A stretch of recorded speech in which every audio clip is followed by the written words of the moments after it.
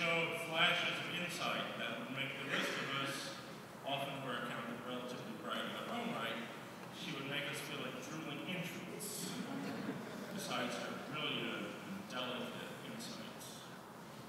I'm here to talk about a certain period in Adie's life. When I first met Adie, she was doing the classical music thing in Chicago.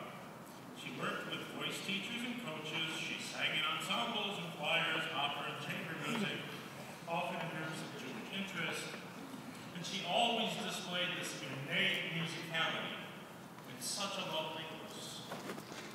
I remember that she was particularly gifted in singing the lieder of Hugo Wolf, obscure composer who set dense and intensely personal poetry. She had, even then, a precocious ability to interpret the text.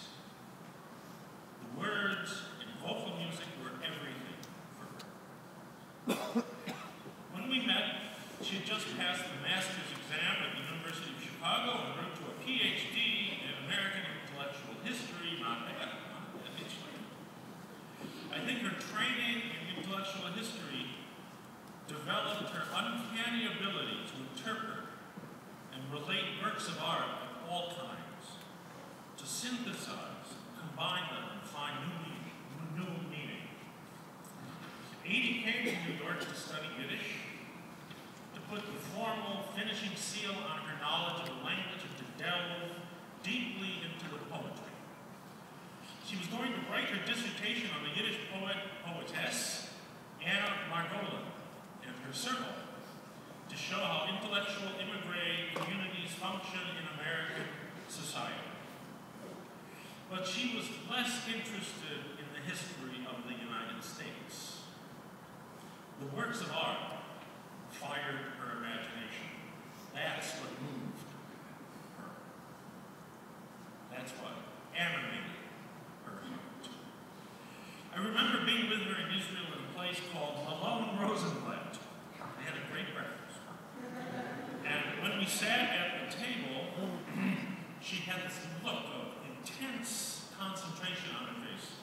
She was jumping out of her skin, and she was completely delighted. She said later, the elderly couple nearby was conversing in German Yiddish, the rarest of the rare. She was so full of excitement at seeing that living moment. She was becoming a Yiddishist. In New York, she studied with the remaining Yiddish intellectuals of the previous generation, who gathered especially around YIVO. They fell in love with this ebullient and beautiful young woman who understood the subtleties of language and understood their literary life. This woman soaked up the precise grammar and pronunciation. She perceived their depth.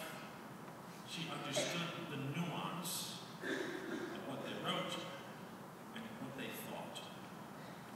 And she had an expressive, trained voice to boot. She sat across the table from them while they blew smoke in her face, and she did not mind. She was soaking up a treasure given generously to a brilliant and eager student. She was a gift to them, and they knew it. The poet Wolf,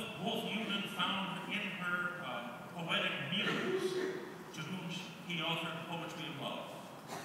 When she interviewed Isaac Bashevis Singer for Moment magazine, he proposed marriage to her.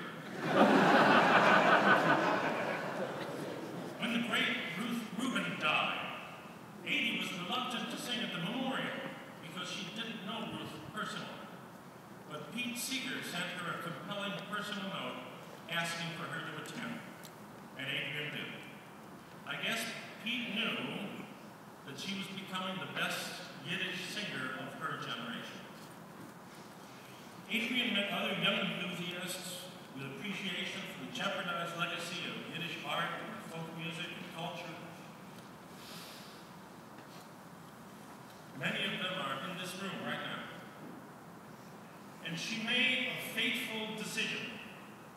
She decided not to write history, but to make history instead. Adrienne spent her life invigorating the legacy of Yiddish, inspiring and networking a whole generation of Yiddishists and artists. She became the joyous and kind magnet at the heart of a movement that now continues in academic programs, festivals, and adherents too numerous to describe right now. Adie's Choice came from her love for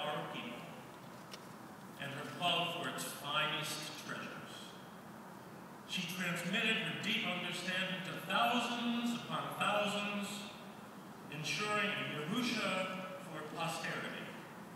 Just listen to her last CD to witness her love and her genius in full flower. Now, she chose a life that was not easy, it wasn't comfortable, it wasn't a smart choice. It was a brilliant choice. It was a courageous commitment that came from the depth of her soul.